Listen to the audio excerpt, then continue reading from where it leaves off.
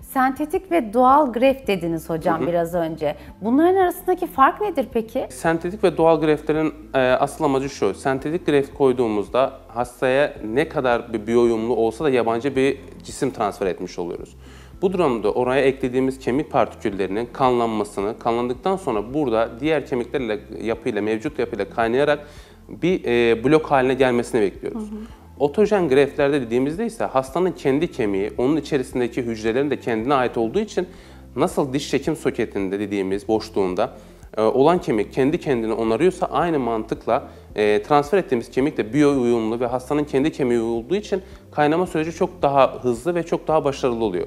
Sentetik kemik uygulamalarımızda 6-8 ay kadar bir bekleme süreci varken otojen yani kendinden transfer ettiğimiz kemiklerde 4 aylık bir süreçte güvenli implant uygulaması yapılabiliyor. Çalışmaya hemen geri döne, dönebiliyor mu peki? Hani kısa, kısalaştı süreç ama siz işlem yaptıktan sonra sonuçta ondan bir şey alıyorsunuz ya Evet. hocam. Daha sonrasındaki sosyal hayatına ve çalışma hayatına ne zaman dönebiliyor? Ee, şimdi bu hastada uyguladığımız greft tipine bağlı olarak mesela ağız içerisinden bir greft aldıysanız bu hastanın normal bir e, gömük ilmi yaş dışına çektirdiği gibi bir haftalık bir süreçten sonra rahat bir şekilde hayatına devam ettirebiliyor. Ama kalça grefti transfer ettiğimiz hastalara yani biz genellikle iki gün müşahede altında tutuyoruz daha sonra taburcu ediyoruz. Hastalarda ilk bir hafta yürürken, merdiven çıkarken özellikle dikkatli olmasını istediğimiz için iki haftalık istirahat sürecini, sürecini biz uygun görüyoruz.